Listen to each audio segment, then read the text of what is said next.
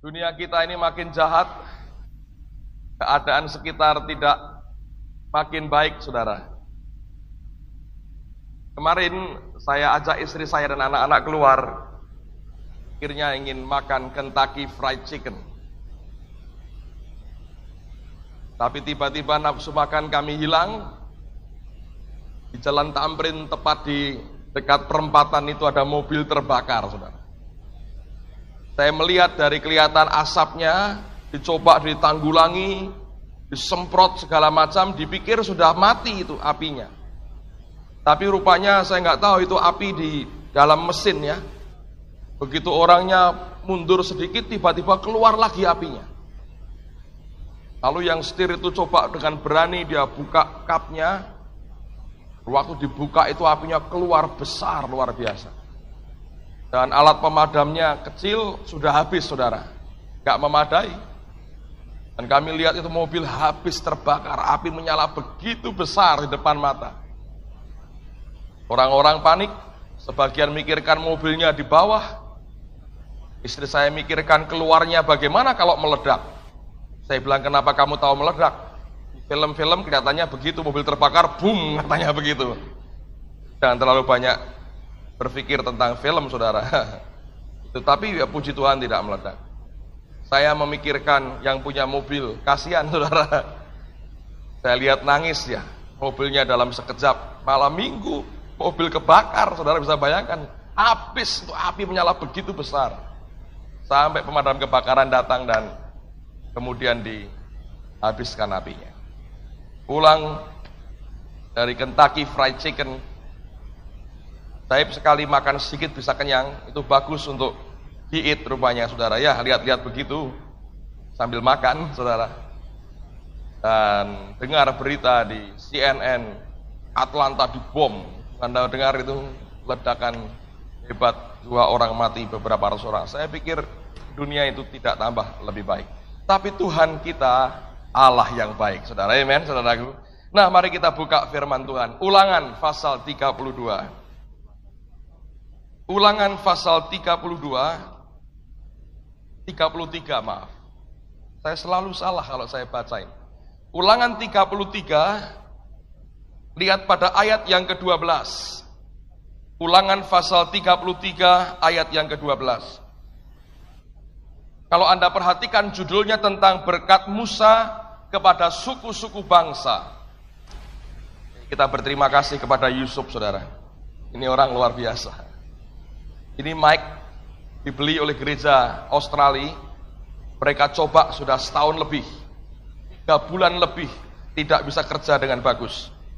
Hari ini tanpa gangguan. Kita beri tepuk tangan untuk kemuliaan nama Tuhan, saudara. Haleluya. Ulangan 33 sekarang. Terima kasih Yusuf, Tuhan berkati. Tentang Benyamin, ia berkata, Kekasih Tuhan yang diam padanya dengan tentram Tuhan melindungi dia setiap waktu dan diam di antara lereng-lereng gunungnya. Saya mau ulang lagi, Anda perhatikan judulnya berkat Musa kepada suku-suku Israel. Ini menjelang kematian Musa. Pasal berikutnya sudah cerita tentang kematian Musa. Sebelum dia mati, dia mengucapkan berkat untuk suku-suku Israel.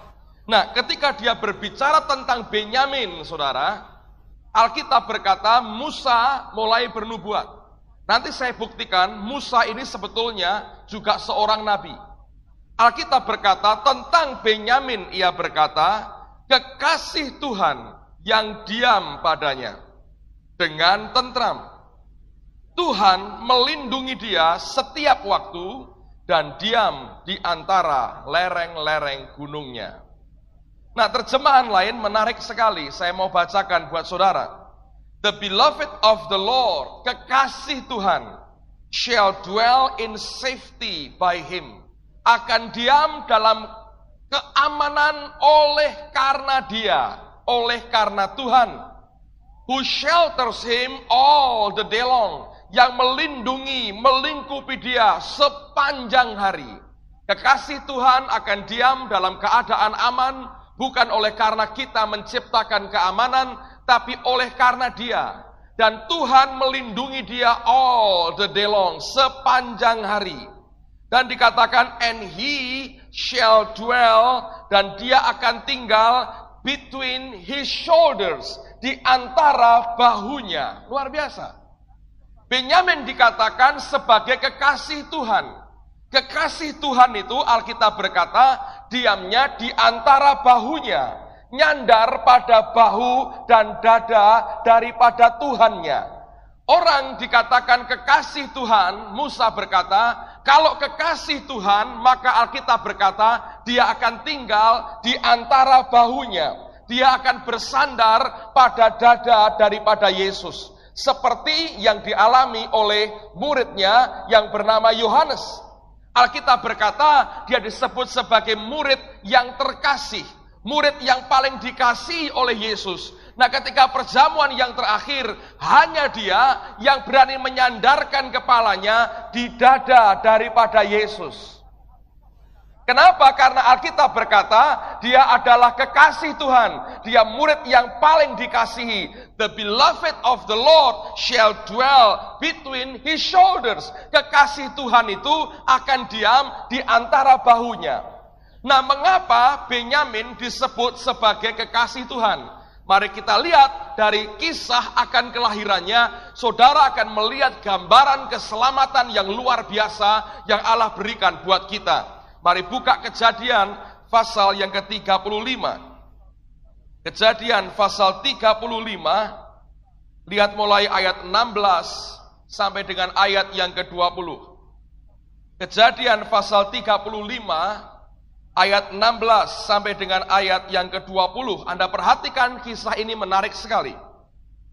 Kelahiran Benyamin, judulnya Rahel mati. Sesudah itu berangkatlah mereka dari Betel. Ketika mereka tidak berapa jauh lagi dari Efrata, bersalinlah Rahel dan bersalinnya itu sangat sukar. Sedang ia sangat sukar bersalin, berkatalah bidan kepadanya, Janganlah takut, sekali ini pun anak laki-laki yang kau dapat. Dan ketika ia hendak menghembuskan nafas, sebab ia mati kemudian. Jadi ini sebelum Rahel mati, menjelang atau sebelum atau hendak menghembuskan nafas terakhir, sebab ia mati kemudian. Diberikannya nama Ben Oni kepada anak itu. Tetapi ayahnya menamainya Benyamin. Demikianlah Rahel mati, lalu ia dikuburkan di sisi jalan ke Efrata, yaitu Bethlehem. Yakub mendirikan tugu di atas kuburnya. Itulah tugu kubur Rahel sampai sekarang. Kalau Anda ke Israel, antara Bethlehem dan Yerusalem, Anda akan ketemu sampai sekarang kubur Rahel masih ada. Dan tiap hari, Anda kalau Anda lewat jalan itu, di depannya dibangun akan pembatas dari beton yang kuat sekali dan beberapa tentara menjaga kubur Rahel karena banyak orang Benyamin hari ini di Israel termasuk perdana menterinya Benyamin Netanyahu. Anda perhatikan mereka jagai itu makam karena itu makam merupakan tempat yang sangat dihormati orang-orang Yahudi terutama orang-orang Benyamin. Di situlah ibu dari suku Benyamin dibaringkan. Nah sekarang perhatikan jadi saya katakan ini merupakan gambaran keselamatan yang luar biasa. Dari mana kita bisa belajar itu? Dengarkan baik-baik. Nama Ben Oni artinya son of my sorrow. Anak atau anak laki-laki dari penderitaanku. Ketika Rahel akan melahirkan, dia menderita sakitnya luar biasa. Dia beri nama itu anak itu sebelum dia mati Ben Oni. Ben Oni artinya son of my sorrow, anak penderitaan. Tapi Yakub kemudian memanggil Ben Oni ini dengan Benyamin, son of my right hand, tangan kananku sendiri, kata Yakub. Nah, kata Rahel artinya harta yang paling dikasihi. Nah, sekarang dengarkan akan gambaran keselamatan ini, saudara. Dengarkan baik-baik. Ben Oni, nama itu ada sebelum Rahel mati. Menjelang saat dia menghembuskan nafas yang terakhir, dia berkata kepada Yakub, "Aku beri nama anak ini Ben Oni." Karena oleh karena anak ini aku menderita kesakitan, penderitaan yang luar biasa, aku beri dia nama Ben Oni. Lalu harta yang paling dikasih itu mati. Dan Yakob berkata, aku panggil dia bukan Ben Oni, tapi Benyamin, yaitu tangan kananku sendiri. Lihat akan gambaran hidup kita. Oleh karena yang paling dikasih Tuhan, yaitu Yesus mati. Saudara dari Ben Oni dirubah menjadi Benyamin. Dari orang yang penuh penderitaan oleh karena dosa, sejak kematian harta yang paling dikasih. Anda ingat ketika Yesus dibaptis, Bapak berkata, inilah anakku yang kukasihi, kepadanya aku berkenan. Yesus merupakan harta yang paling dikasihi oleh Bapa di surga.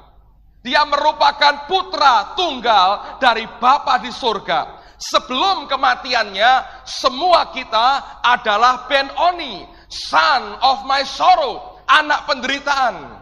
Orang hidup dalam dosa, hidupnya akan penuh dengan penderitaan. Tapi ketika Rahel mati, harta yang paling dikasih mati, nama itu berubah menjadi Benyamin, tangan kanan Allah sendiri.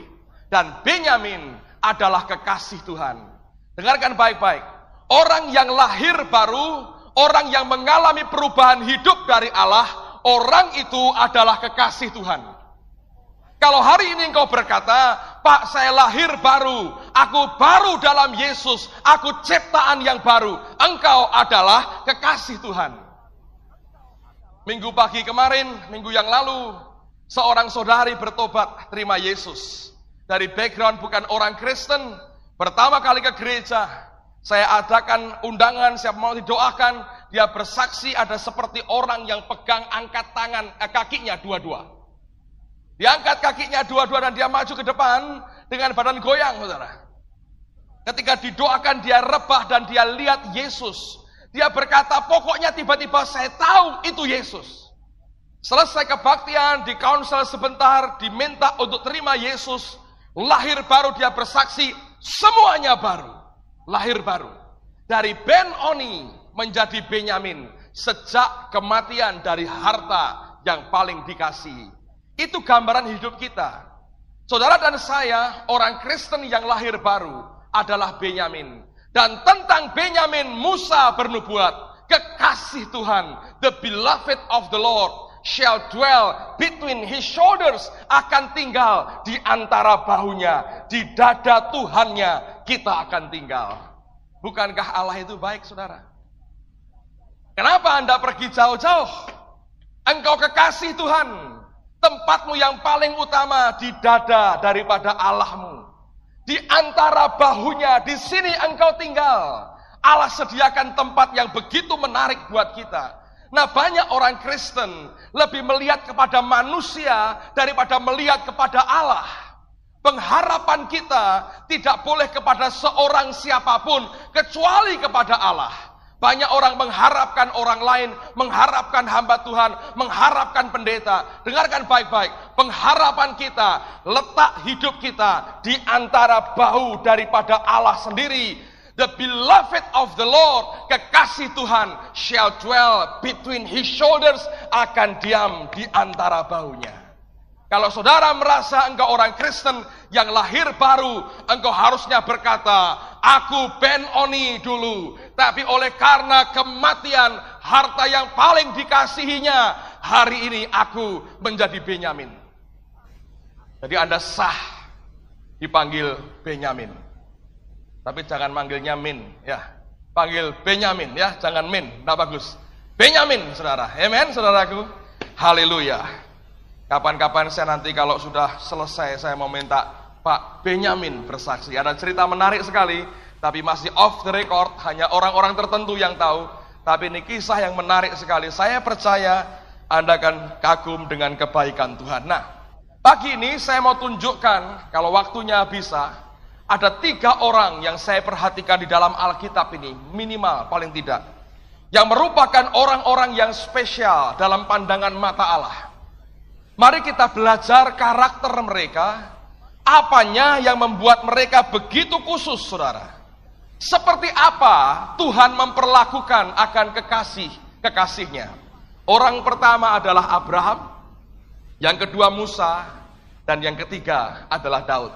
Mari kita belajar tiga tokoh ini. Lihat bagaimana Allah memperlakukan kita sebagai kekasih-kekasihnya. Saya percaya dengan apa yang Tuhan kerjakan, lawatan Allah terakhir-terakhir ini membuat banyak orang mulai menikmati Allah. Pak Victor kami selalu berkata, Tuhan mulai mengalihkan pandangan mata kita, tidak lagi melihat tangannya terus, tapi mulai melihat akan wajahnya. Banyak orang Kristen ingin melihat tangan Tuhan. Siapa tahu tiap hari tangannya begini, saudara. Oh, mungkin tangan Tuhan begini, tapi Tuhan mulai berkata, "Jangan terus pandangi tanganku, lihat wajahku sekarang." Pada waktu kita memandang akan wajahnya, hidup kita akan diubah oleh karena anugerahnya. Amen, saudara. Tadi malam saya diundang melayani sebuah gereja. Kaum muda di sana, tidak banyak yang hadir, saya ajak Hasto. Dan kemudian saya share tentang apa yang Tuhan kerjakan. Dan selesai itu, ya nggak ada apa-apa, mereka senyum-senyum dan mereka pikir lucu sekali apa yang saya bagikan dan mereka tidak belum mengalami seperti apa pun yang kita alami di sini. Selesai saya berkata, mari kita berdoa. Saya bilang Tuhan kau melawat mereka, roh kudus melawat mereka dengan manis sekali. Beberapa orang tertawa-tawa, banyak di zaman Tuhan nangis dan Tuhan bilang luar biasa. Saya bilang semua itu membuat kita menjadi kekasih, kekasih Tuhan. Amen saudaraku. Nah sekarang mari kita belajar dari Abraham. Apanya yang hebat? Jangan lihat pandangan orang tentang Abraham, lihat pandangan Tuhan tentang Abraham. Yang pertama, mari kita buka dua tawarih pasal yang ke-20. Saya percaya saya sudah pernah sampaikan ini saudara.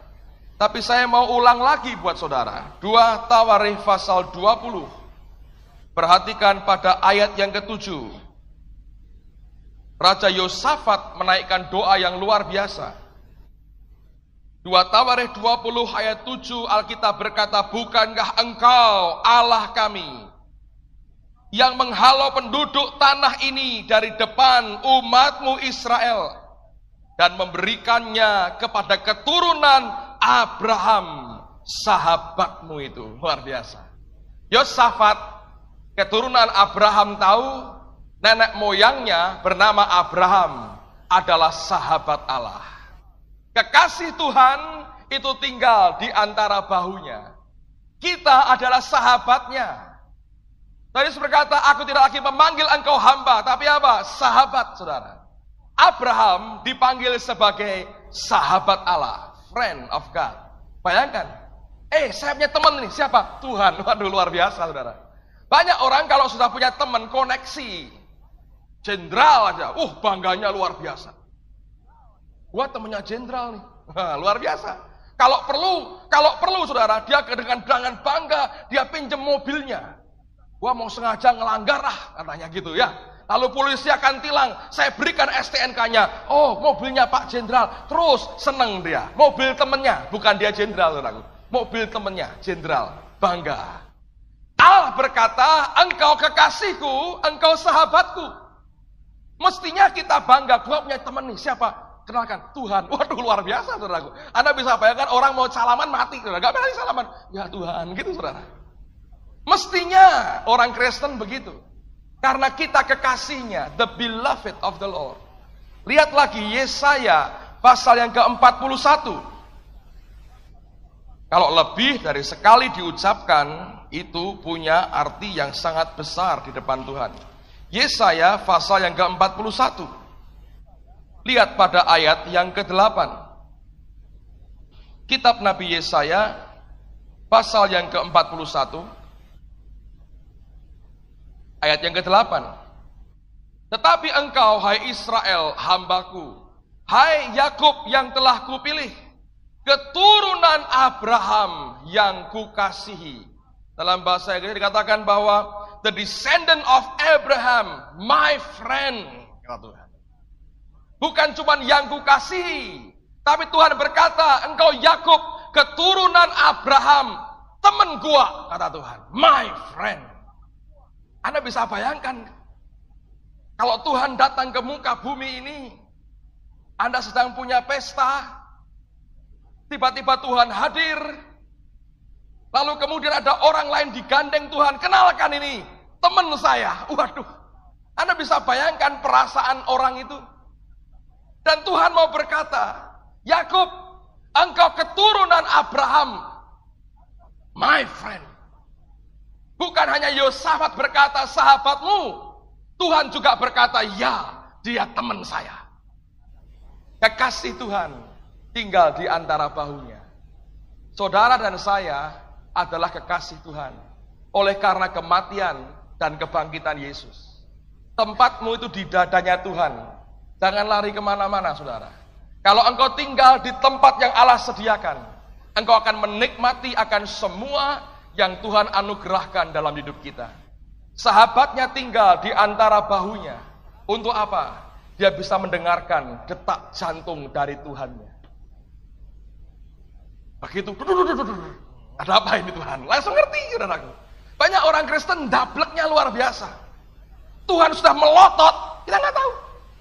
Tingas, cengis, peringas, pringis, nggak ngerti saudara. Kenapa? Tidak dekat dengan jantungnya Tuhan. Heartbeatnya Tuhan, detak jantungnya, dia nggak ngerti.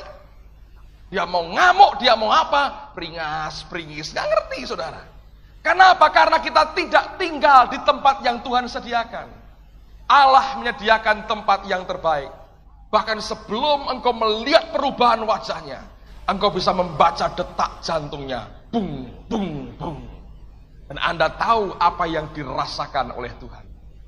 Kita adalah sahabat-sahabatnya. Amen, saudaraku. Orang kedua, Uh, saya mau tambahin satu lagi saudaraku. Supaya kita ngerti sebelum kita masuk orang kedua. Coba buka Mazmur 25. Saya ingin buktikan apa yang saya katakan tadi. Mazmur 25. Ayat yang ke-14. Mazmur 25. Ayat yang ke-14. Tuhan bergaul karib dengan orang yang takut akan dia dan perjanjiannya diberitahukannya kepada mereka. The friendship with God, persahabatan dengan Allah. Friendship with God, persahabatan dengan Allah is reserved for those who reverence him. Disediakan bagi mereka yang takut, yang hormat akan dia. With them alone, hanya dengan mereka inilah. He shares, Tuhan membagikan, Allah menyatakan the secret of his promises, rahasia-rahasia dari semua janji-janjinya. Luar biasa. Friendship with God, persahabatan dengan Allah, kata firman Tuhan. Disediakan bagi mereka yang hormat dan takut kepada Allah. Hanya dengan mereka ini Alkitab berkata, dia akan membukakan, he shares, dia akan bagikan the secret of his promises. Rahasia dari semua janjinya, dia akan buka. Kalau kita punya takut dan hormat kepada Allah, Anda akan menikmati friendship with God, persahabatan dengan Tuhan. Dan mestinya orang yang lahir baru harus punya takut dan hormat kepada Allah. Karena yang membuat diselamatkannya kita adalah kematian dan kebangkitannya. Pada waktu kita menjadi kekasihnya, kita tinggal di dadanya. Dan kita tahu akan detak jantung Allah kita. Dan dia akan nyatakan semua rahasia janji-janjinya. Pada waktu itu kau tidak akan bingung. Kalau segala sesuatu menimpa engkau dan tiba-tiba engkau akan tahu rahasia dari janji-janji Allah. Dan hidup kita akan menikmati kedamaian yang luar biasa. Amen, saudaraku.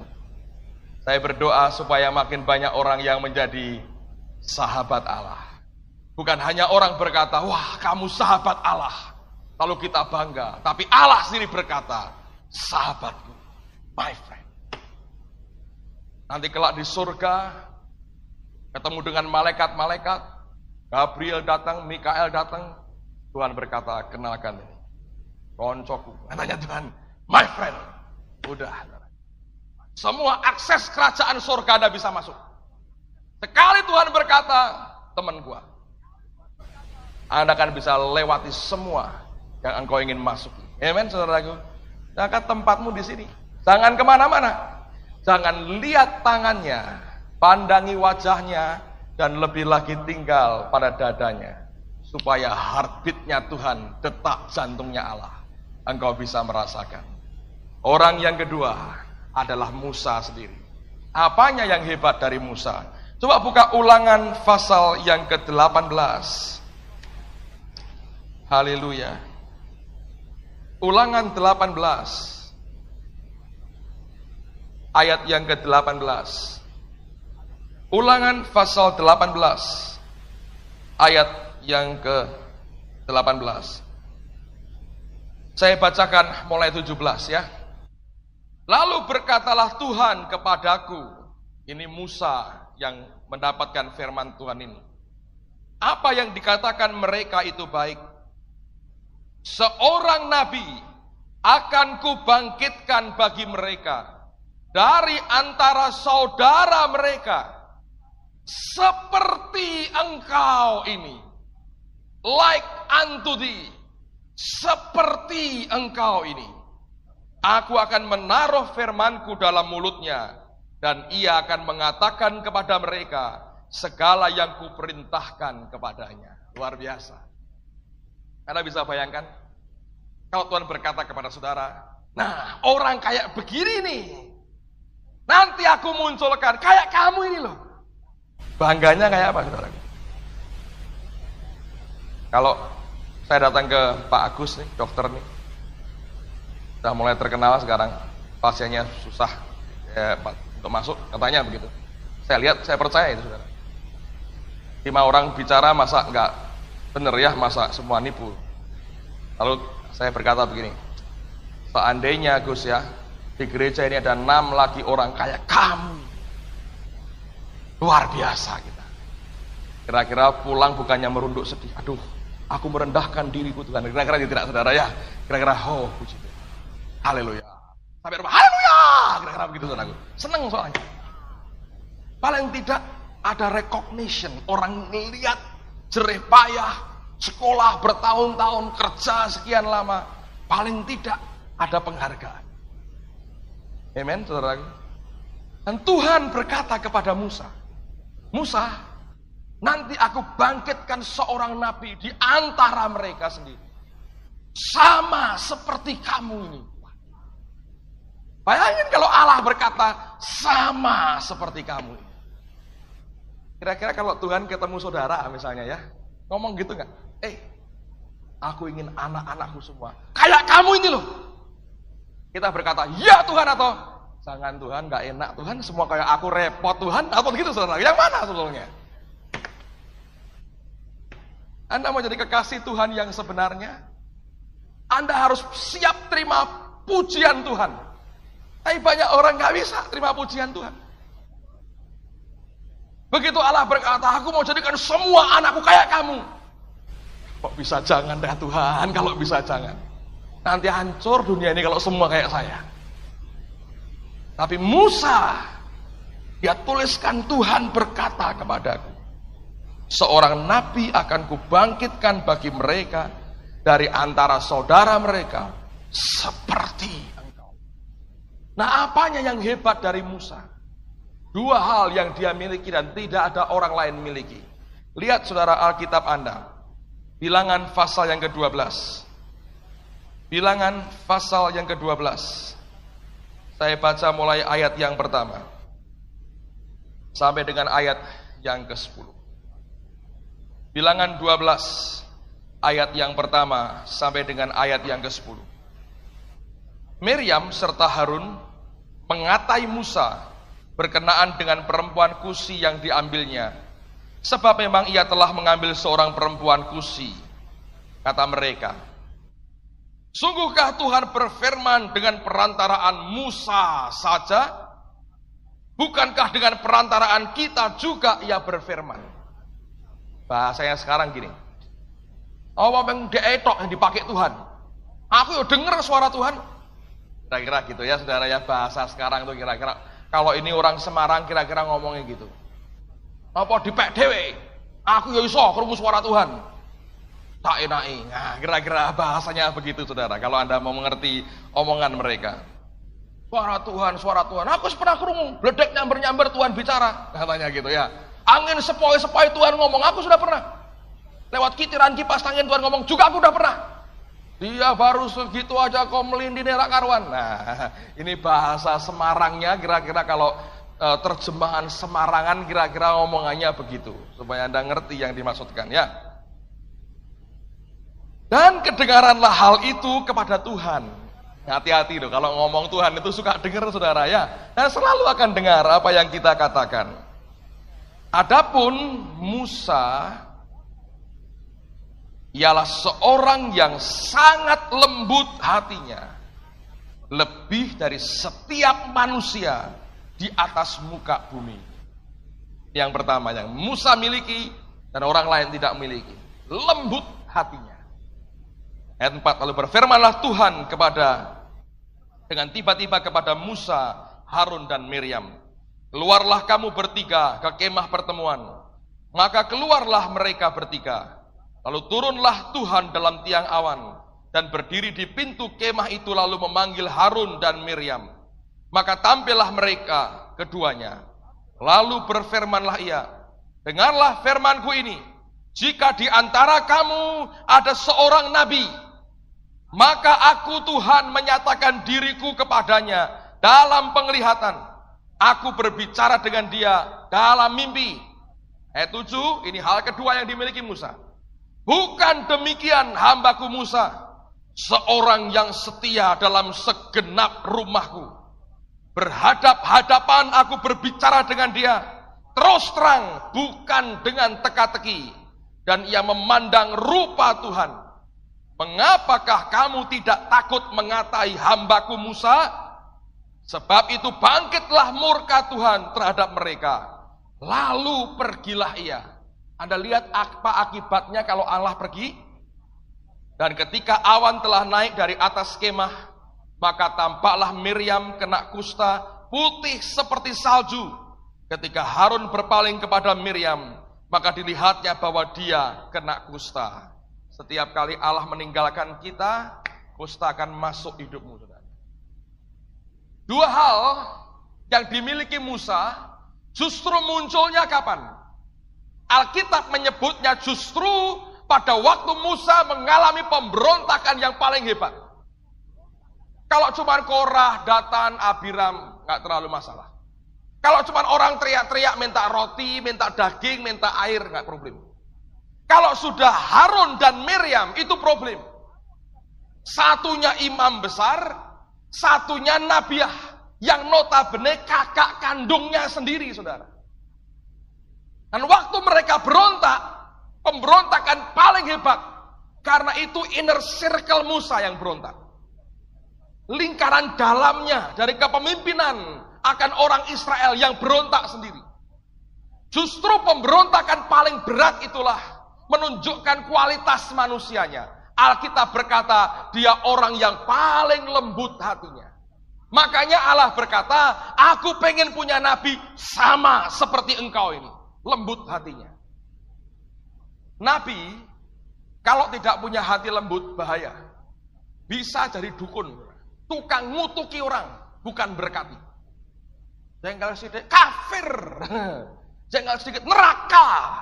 Jengkel sama orang sedikit, wah ini orang binasa. Bahaya.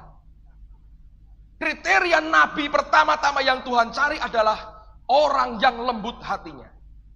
Anda mulai belajar dengar suara Tuhan, saya mau kasih peringatan. Kalau engkau teruskan itu dan engkau harus teruskan, engkau harus sedia di proses Tuhan, dilembutkan hatimu. Kalau tidak, engkau akan jadi tukang kutuk. Yang keluar itu bukan karena kelembutan, tapi karena kepahitan.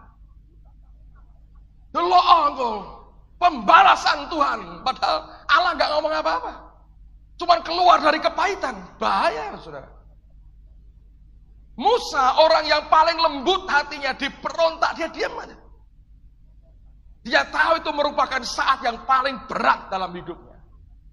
Makanya Allah yang bertindak saudara. Musa diam aja. Lembut hatinya.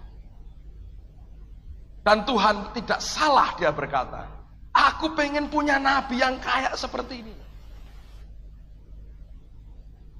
Semua pengurapan Tuhan, pembelaan Tuhan dalam hidupnya tidak pernah dia ungkit-ungkit. Dia biarin lagi.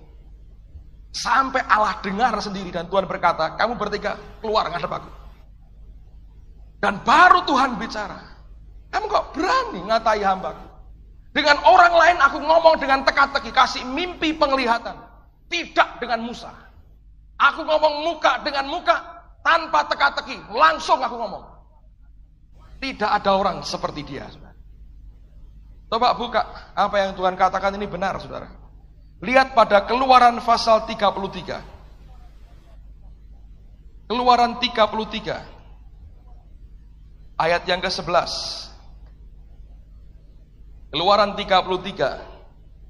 Ayat yang ke-11. Ini sahabat-sahabat Allah, saudara. Abraham disebut my friend. Musa dikatakan seperti engkau ini. Keluaran 33 ayat 11 dan Tuhan berbicara kepada Musa dengan berhadapan muka seperti seorang berbicara dengan siapa? temannya. As a friend, speak to his friend. Musa juga disebut sahabatnya Allah. Luar biasa lembut hatinya. Dan dia memiliki akan persekutuan yang pribadi dengan Tuhannya.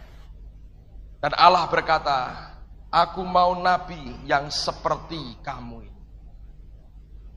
Saudara, saya berdoa biarkan Tuhan menjadikan kita seperti Musa yang lembut hatinya. Anda boleh dengar suara Tuhan dan seharusnya dengar suara Tuhan. Tapi di sisi yang lain, kau harus mengizinkan Allah melembutkan hatimu. Kalau tidak, engkau akan jadi tukang kutuk. Yang diomongkan, oh nanti ke depan, oh kamu akan gini, oh kamu akan gini. Ini dukun apa nabi, saudara? Alkitab berkata orang bernubuat itu menghibur, membangun, menguatkan. Ini malah meruntuhkan semua. Kenapa? Karena hatinya belum seperti hati Musa. Masih seperti hati Bileam. Saudara. Dan kalau kita mulai belajar dengar suara Tuhan, detik yang sama engkau belajar dengar suara Tuhan, kau harus mengizinkan Allah melembutkan hatimu total.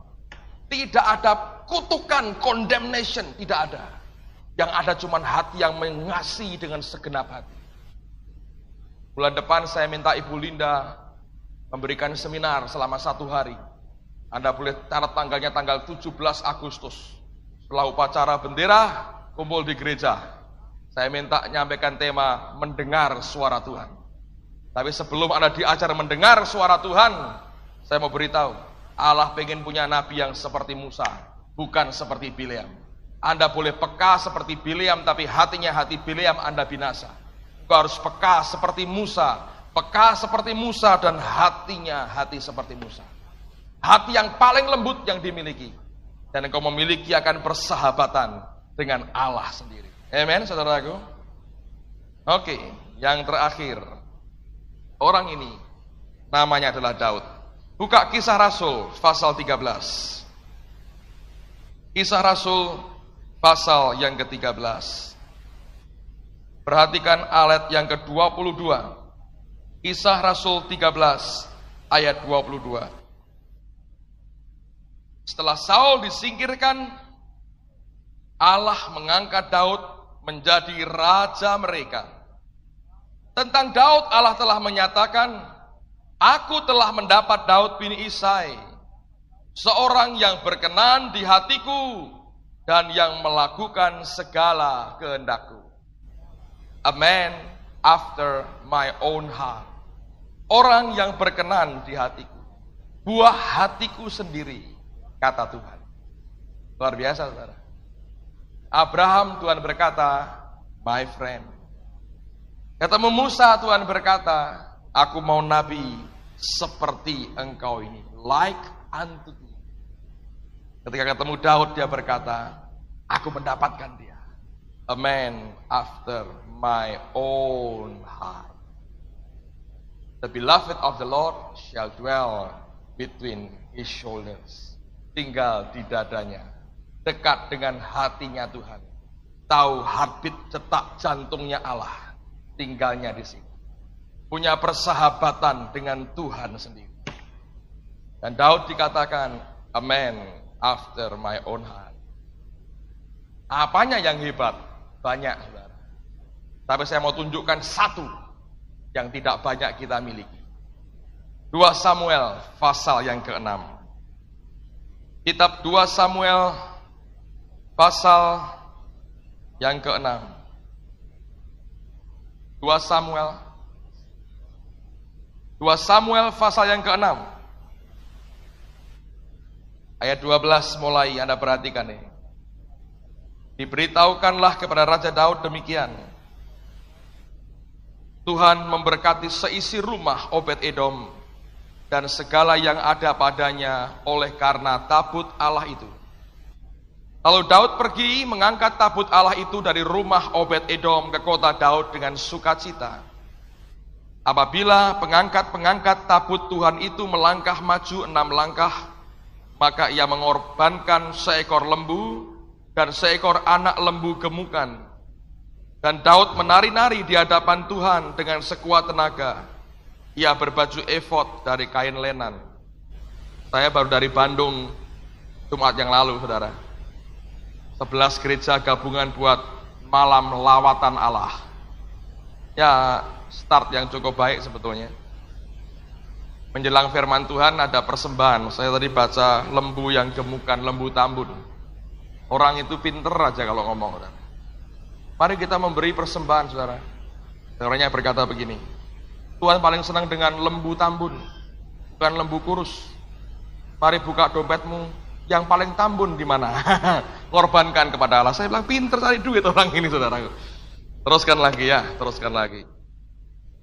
Daud dan seluruh orang Israel mengangkut tabut Tuhan itu dengan diiringi sorak dan bunyi sangkakala. Ketika tabut Tuhan itu masuk ke kota Daud, maka Mikal, anak perempuan Saul, orang ini aneh. Kenapa nggak disebut istri Daud ya? Tapi dikatakan Mikal, anak perempuan Saul. Lain kali saya mau tunjukkan kenapa begini saudara. Ini wanita yang paling paling paling menyedihkan dan sangat-sangat menyedihkan dan sangat sangat perlu dikasihani sebetulnya. Hidupnya hancur karena orang lain. Anak perempuan Saul menjenguk dari jendela, lalu melihat Raja Daud meloncat-loncat serta menari-nari di hadapan Tuhan. Sebab itu ia memandang rendah Daud dalam hatinya. Dosa di hati ya saudara. Dipandang rendah Daud dalam hatinya. Hati-hati dengan hati kita. Tabut Tuhan itu dibawa masuk lalu diletakkan di tempatnya di dalam kemah yang dibentangkan Daud untuk itu. Kemudian Daud mempersembahkan korban bakaran dan korban keselamatan di hadapan Tuhan. Setelah Daud selesai mempersembahkan korban bakaran dan korban keselamatan, diberkati nyala bangsa itu demi nama Tuhan semesta alam. Setelah korban diberi, dia melayani Allah dengan segenap hati dan kekuatannya, dia berkati bangsa itu demi nama Tuhan. Lalu dibagikannya kepada seluruh bangsa itu, kepada seluruh kalayak ramai Israel, baik laki-laki maupun perempuan, kepada masing-masing seketul roti bundar, sekerat daging, dan sepotong kue kismis. Sesudah itu pergilah seluruh bangsa itu masing-masing ke rumahnya. Ayat 20 Anda perhatikan baik-baik. Ketika Daud pulang untuk memberi salam. Saya nggak tahu kenapa diterjemahkan memberi salam. Yang benar memberi berkat. Dia pulang dari rumah Tuhan, habis memberkati Israel, dia pulang bawa berkat ke isi rumah tangganya sendiri. Alkitab berkata ketika Daud pulang untuk memberi berkat kepada seisi rumahnya. Dia memberkati, ini imam, memberkati isi rumah tangganya.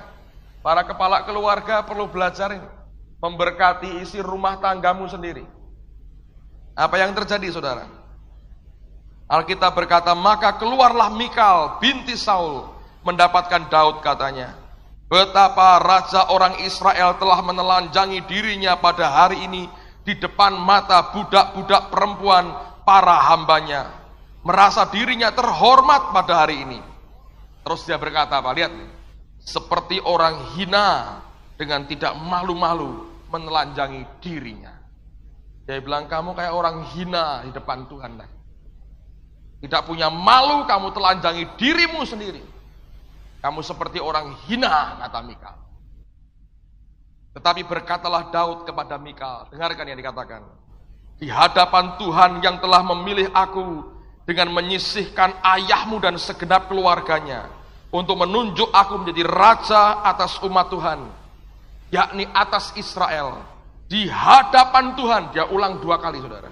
Aku menari-nari Bahkan aku akan menghinakan diriku lebih daripada itu. Diriku lebih hina dari yang tadi aku buat. Dia berkata, di depan Tuhan, aku mau seperti orang hina. Seperti orang-orang genah biar, kata orang. Di depan Tuhan. Luar biasa. Engkau akan memandang aku rendah. Tetapi bersama-sama budak-budak perempuan yang kukatakan itu bersama-sama mereka lah aku mau dihormati. Dengerin ayat berikutnya. Mikal binti Saul tidak mendapat anak sampai hari matinya. Untuk Dia pulang bawa berkat. Anda harus belajar punya hati yang tulus dan murni. Hatimu mandang rendah, berkat disediakan, berubah jadi kutuk, saudara. Tapi yang saya mau katakan di sini, nanti minggu depan kita belajar Mikal kalau Allah izinkan. Lihat apa yang Tuhan mau katakan lewat hidupnya Daud. Di hadapan Tuhan, aku mau seperti orang hina. Bahkan lebih lagi menghinakan diriku. Di hadapan Tuhan, aku mau. Ada banyak orang dengan kesombongannya tidak bisa memiliki hati seperti Daud, sudah. Kita merasa orang yang terhormat untuk membuat diri kita hina di hadapan Allah. Tapi raja ini berkata, dia yang mengangkat aku. Kalau di hadapannya, aku mau menghinakan diriku lebih lagi. Tidak salah Tuhan berkata, a man after my own heart. Sahabatnya tinggal di sini dan tidak di tempat lain. The beloved of the Lord shall dwell between his shoulders. Saya bersyukur ada banyak orang yang mau seperti orang bego dan terhina di depan Tuhan. Ketika rohnya mulai menguasai kita. Salah satu kata praise, kata praise dalam bahasa Ibrani ada tujuh. Satu di antaranya adalah halal, tulisannya halal, saudara. Dan memang ini halal. Kata halal itu artinya memuji Tuhan sampai engkau mengalami begitu liar sampai gegap gempita seperti orang bloon, orang goblok. Sampai orang bilang ini bloon, goblok kayak begitu. Tapi itu praise. Dan Daud ngerti, di depan Tuhan aku mau menghinakan diriku lebih. Semua kita harus belajar untuk punya hati yang mau merendah semacam itu. Tadi malam saya dengan dengan Hasto dengan istri saya. Pada waktu Arlan datang, saya sebetulnya menaikkan satu doa. Tuhan, gereja ini sudah banyak orang cerking. Gubyur-gubyur juga sudah banyak istilahnya Pak Victor ya. Tapi saya bilang ada satu obat yang belum kami dapatkan banyak. Holy laughter. Itu menyehatkan sekali saudara ya, asik ya. Keluar dari gereja ketawa, asik sekali. Lalu saya ke Australia. Pulang dari sana, aneh, saudara. Sampai sekarang ini masih kadang-kadang terus itu. Gak ada apa-apa ini. Saya kan orang bilang embun pagi, sudah. Jadi tiba-tiba di hati dari sini tuh bisa. Tak tutupi mulut saya, saya bilang. Oh, udah ada apa-apa kok. Tiba-tiba, pengen ketawa sendiri. Istri saya bilang, diloski, diloski. Tak no gasih kok diloski saya berkata begitu. Kurang, kurang gasnya kurang. Saya bilang, saya nggak mau dong ketawa-ketawa tak buat sendiri. Tapi itu keluar berkali-kali. Karena saya geli, saya bilang, saya nggak tahu saya geli apa, saya nggak tahu. Tapi mungkin satu kali Anda lihat saya. Tapi saya melihat Tuhan baik sekali. Kemarin di kantor, saya lihat ada banyak orang yang seperti Daud, merendahkan dirinya menghinakan dirinya di depan Tuhan. Tapi saya berkata pada saudara, itu anugerah besar. A man after my own heart. Saya belajar banyak hal dalam hari-hari ini. Tapi saya yakin Allah sedang memberikan kepada kita gelombang yang lebih besar di tengah-tengah kita. Amen, saudaraku. Kemarin saya pulang dari Bandung, sampai di kantor sudah agak siang, mungkin setengah 12, hampir setengah 12. Pesawatnya terlambat. Saya mau cari Pak Tri sebetulnya, ada urusan sedikit. Sampai hari ini belum saya omongin lagi.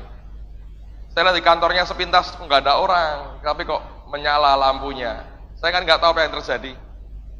Saya masuk kantor saya, nyalakan AC-nya, saya keluar. Saya pengen masuk ke kantornya, jadi saya masuk aja. Saya masuk, saya buka kantornya Pak Tri. Lagi muter-muter. Ah. Dan tiba oh itu, itu Tuhan. Dan Tuhan berkata, ajak yang lain berdoa. Dan kemarin sampai siang, kita ngalami kubyur-kubyur dengan roh kudus. Saudara, luar biasa. Amen, saudaraku. Anda kekasih Tuhan oleh karena penebusan Yesus. The beloved of the Lord shall dwell between his shoulders. Anda perlu belajar Mikal ini. Anda perlu belajar muridnya Yesus Yohanes. Orang yang tinggal di antara bahu. Mari angkat tangan. Master Savior, my Creator, I love